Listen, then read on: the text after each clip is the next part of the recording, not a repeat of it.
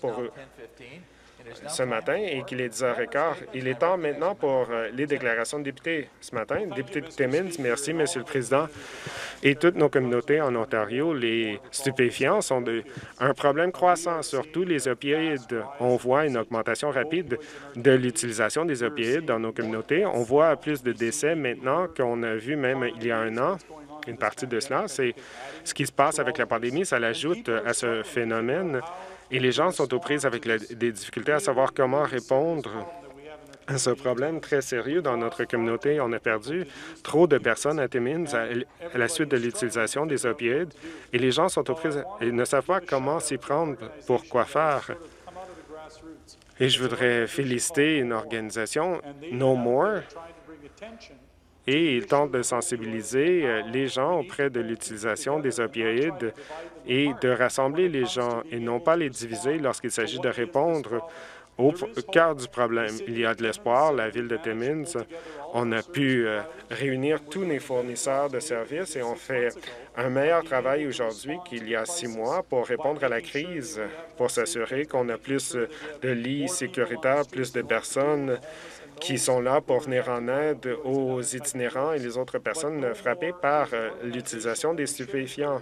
Mais non, c'est une organisation qu'on devrait encourager parce que leur concept très simple, c'est qu'on doit travailler ensemble. On ne peut pas diviser les gens si on veut euh, battre euh, le phénomène qui se passe dans nos communautés.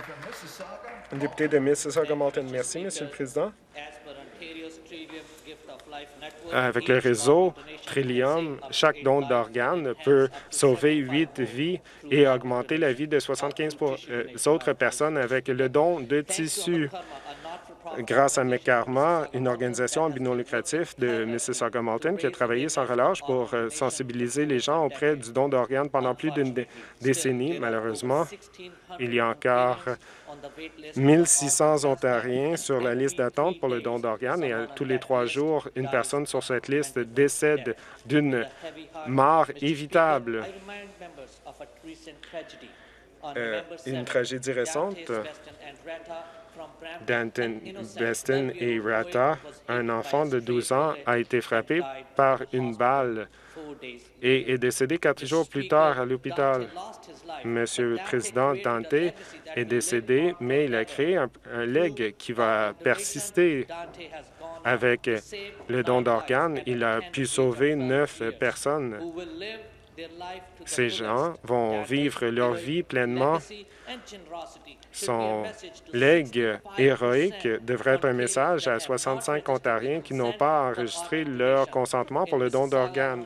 À Mississauga, l'enregistrement est seulement de 22% Je demande à tous d'enregistrer votre consentement à soyez un donateur.ca avec moins de gens qui se présentent à Service Ontario. Ce chiffre est encore à la baisse. S'il vous plaît, prenez deux minutes euh, pour le faire. Vous pouvez sauver la vie des gens et sensibiliser les autres. Merci. Déclaration de député, député de Niagara Falls. Merci, Monsieur le Président. Je prends la parole pour parler d'un des enjeux les plus pressants dans notre euh, province. La crise dans les foyers de soins de longue durée depuis le début de la pandémie il y a eu 2150 décès des résidents dans les foyers de soins de longue durée, ainsi que huit membres du personnel dévoués. C'est une réalité tragique à savoir comment notre système est rompu en Ontario. Ici, en Ontario, on a vu des tragédies dans les foyers de soins de longue durée avec la COVID-19. Il y a eu des éclosions à Gilmore Lodge, Millium Trail Manor, Manors of Dorchester, Bells, foyer de soins de longue durée. Bells de Dorchester a une éclosion. Ils font face à d'autres cas positifs. On a eu 25 cas de la COVID-19 entre les résidents et les membres du personnel. Avant qu'ils ont été commencé à être gérés par Niagara, Santé Niagara, on a vu des, histoires crève-cœur. Il y avait une pénurie des membres du personnel. Ils ont dû réutiliser des équipements de protection personnelle les gens sont décédés à cause de la privatisation et de la négligence. On le voit trop souvent se passer au Niagara depuis le mois de mars. On ne peut pas se permettre à ce que cela puisse continuer. Au bout du compte, les personnes âgées sont négligées et on n'en fait pas assez. Les personnes âgées en décèdent. On peut en faire plus pour euh, faire mieux pour eux. Euh, réglementer quatre heures minimum par résident par jour et arrêter la privatisation, mais plutôt euh, faites en sorte qu'il y ait plus de, foyers de soins de longue durée à but non lucratif. 68 personnes âgées dans la région de Niagara sont décédées. On ne peut pas attendre. On doit protéger les personnes âgées, nos parents, nos grands-parents et les oncles et tantes. Je voudrais rappeler aux députés que vos présentations doivent être d'une minute et demie. J'essaie d'être souple, mais on ne peut pas toujours dépasser ce temps. La prochaine déclaration, député de Scarborough Agincourt. Merci, Monsieur le Président. Ce fut un grand plaisir pour moi de me joindre à mes collègues de Scarborough le samedi dernier pour faire une annonce pour améliorer le système de santé à Scarborough. Le réseau de Scarborough a reçu 11,8 millions de dollars pour créer 45 nouveaux lits et 8 lits de soins intensifs pour alléger la, pression sur la capacité dans les hôpitaux et de réduire les listes d'attente à la suite de la nouvelle de, la euh, propagation de la pandémie. C'était une bonne nouvelle pour tous les résidents et pour tous les intervenants de première ligne le personnel et les fournisseurs de services ont fait un très bon travail pour contrôler et limiter la propagation de la COVID-19 dans des situations très difficiles. Ils ont été les héros de la pandémie à Scarborough et sont allés au, bien au-delà de ce qu'on demandait d'eux en appuyant les plus vulnérables dans les foyers de soins de longue durée ainsi que dans d'autres communautés de, des aînés. Cet investissement va réduire les listes d'attente pour les interventions chirurgicales et va améliorer l'accès durant la pandémie. Ça fait en sorte que l'investissement total est de 351 millions de dollars pour plus de 2250 hôpitaux dans les hôpitaux. les lits qui vont ajouter plus de capacité pour les hôpitaux d'aider avec les taux de capacité d'appuyer la continuation des interventions chirurgicales. Merci. Merci, député de Sainte-Catherine. Merci. 16 jours d'activisme contre, euh, contre le la violence spécifique commence aujourd'hui. Les Nations unies ont dit que c'était une pandémie dans une pandémie lors de la COVID-19. Les manchettes après manchettes démontrent l'augmentation de la violence conjugale et familiale. Il y a Jillian's Place dans ma circonscription. C'est un, refuge pour les femmes incroyable. Les histoires incroyables de cet endroit sont... Euh, nous permettent d'espérer d'aider des jeunes mères qui euh, sont enceintes ou de leur offrir de nouvelles compétences et d'avoir une relation saine à l'avenir. Sans le financement du gouvernement, ils ont pu ouvrir 10 maisons transitionnelles euh, partout dans la circonscription. Je voudrais célébrer ce qu'ils ont fait.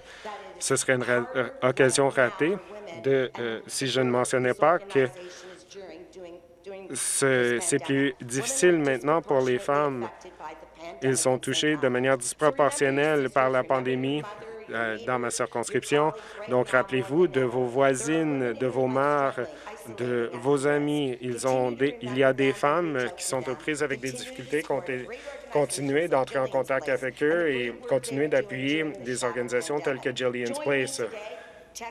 Ajoutez, joignez-vous à moi et textez 1010. Merci. Déclaration de député, député de Lanark, Frank Kingston. Merci, Monsieur le Président. Je voudrais applaudir une personne pour son courage, ses convictions et sa résolution. Adam Skelly a ouvert son restaurant Adamson Barbecue et met à l'épreuve les ordonnances de la part du gouvernement illicites et sans aucun doute, les tribunaux vont annuler ces ordonnances illicites. J'encourage tout le monde de faire la même chose et d'être solidaire avec Adam Skelly. Je pense que le poème suivant de Charles McKay est approprié. Vous n'avez pas d'ennemis, vous dites? Par contre, ce n'est pas le cas. Celui qui a dû être courageux, s'est fait des ennemis. Si vous n'en avez pas, petit est le travail que vous avez fait. Vous n'avez pas frappé contre quelqu'un, un ennemi.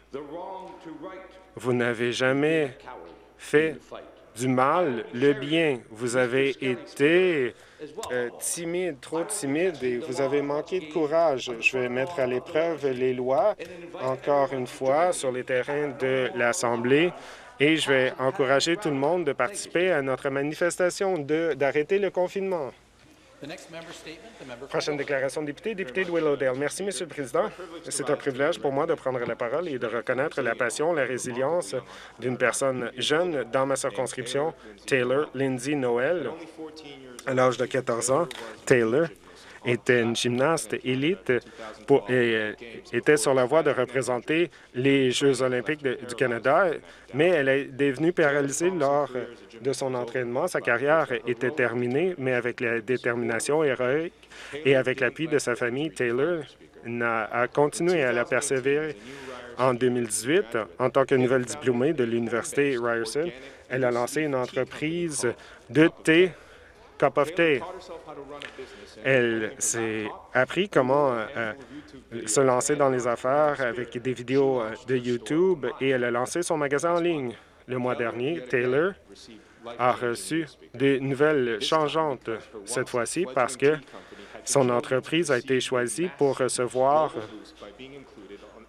une simulation mondiale parce qu'elle est sur la liste de Oprah Winfrey et de sa liste de Favorite Things juste avant le temps des fêtes. De la fin de sa carrière en tant que gymnaste et de son histoire à succès dans le monde des affaires, c'est une histoire de résilience et l'histoire de Taylor devrait nous tous inspirer de nous rappeler que la passion, le travail acharné et le soutien de la famille et des amis, que de bonnes choses peuvent se produire même à la suite d'une tragédie. Vous êtes une inspiration. Taylor, et j'ai hâte de voir ce que vous allez faire à l'avenir. Merci beaucoup. Déclaration de député. Député Nickelbelt, merci, Monsieur le Président. Ce matin, la vérificatrice générale a déposé son rapport sur la préparation la gestion de la, réponse à la COVID-19. Mes commentaires ce matin ne sont pas pour euh, blâmer le gouvernement. On ne peut pas changer le passé, mais on peut influencer l'avenir pour mieux faire.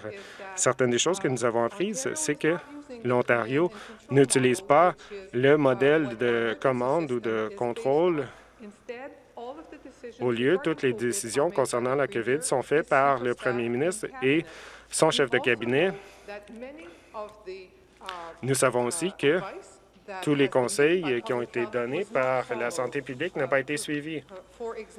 Par exemple, d'augmenter les tests de dépistage à toute personne sans symptômes, sans exposition connue, n'a pas été recommandé par la santé publique. Par contre, on l'a fait ici en Ontario, on ne l'a pas arrêté jusqu'au mois de septembre. Euh, d'exiger un test de dépistage pour les visiteurs dans les foyers de soins de longue durée à toutes les semaines et avant de faire une visite, il n'y avait pas de recommandation de la part de la santé publique pour le faire. Et ça permet aux gens d'avoir un faux sentiment de sécurité. Et c'est la même chose avec le cadre euh, fondé sur les différentes couleurs. Ce n'est pas euh, une décision qui a été fondée sur les recommandations de la santé publique et donc le médecin hygiéniste en chef doit être une personne indépendante. Député de Haldeman-Norfolk, déclaration de député. Merci. Euh, Caledonia, euh, l'endroit de Mackenzie Meadows a été sous occupation par des militants pendant plus de 123 jours. Il y a eu une incidence sur les résidents, les entreprises et l'infrastructure critique. Le promoteur Fallscape Homes s'est vu octroyer une injonction contre les manifestants. les manifestants ont bloqué les routes, les voies publiques et la voie ferrée. En dépit de cette injonction, le site de construction est toujours occupé. Les routes municipales ont été complètement bloquées. Euh, on a interrompu le service de CN Rail et on a volé des équipements. Ces gestes font en sorte que le service de police provinciale est dans une situation difficile. On a dû arrêter les gens et déposer des accusations contre les gens. Par contre, les, les personnes, les autorités ne peuvent pas gérer la situation sans un leadership de la part du gouvernement fédéral. C'est une situation très frustrante. Ça perdure pendant plus de 14 ans. Et ces barrages de Caledonia, euh, on a demandé à ce que le gouvernement fédéral puisse intervenir et de trouver une voie paisible pour tous. Merci.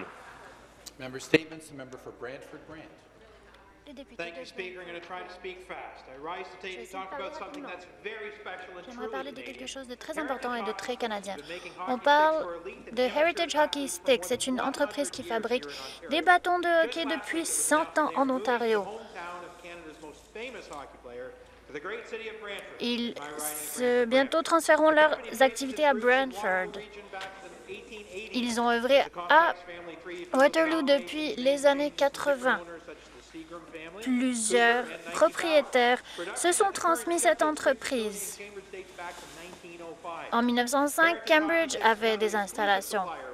Aujourd'hui, cette entreprise fournit des bâtons à la Corporation de hockey du Canada. La nouvelle entreprise fera deux fois la taille de l'ancienne. Ce sera une fabrique de bâtons. Il est attendu que 100 personnes seront ajoutées au corps de travail de l'entreprise? Ce sont des bâtons faits de composites hybrides de haute qualité. La ville de Brantford, selon le propriétaire, offre un environnement d'affaires agréable à l'entreprise. Walter Gretzky est également un homme qui vient de cette ville. Donc j'aimerais remercier et féliciter cette entreprise. Merci, Monsieur le Président. Merci. Ceci conclut